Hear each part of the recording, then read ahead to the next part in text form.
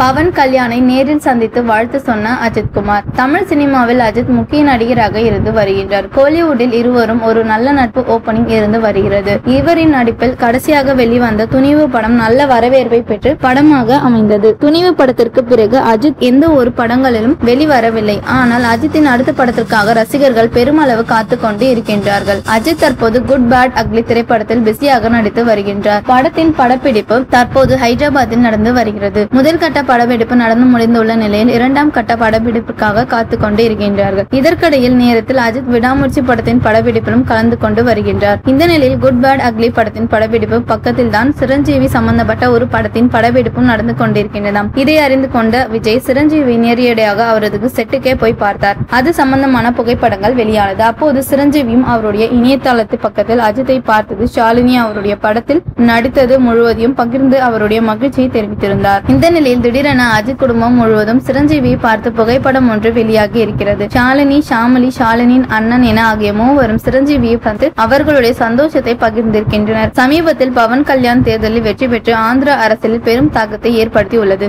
இதனால் அஜித்தும் பவன் கல்யாணை நேரில் சந்தித்து வாழ்த்து கூறியுள்ளார். சிரஞ்சீவியின் தம்பிதான் பவன் கல்யாண் என்பது குறிப்பிடத்தக்கது.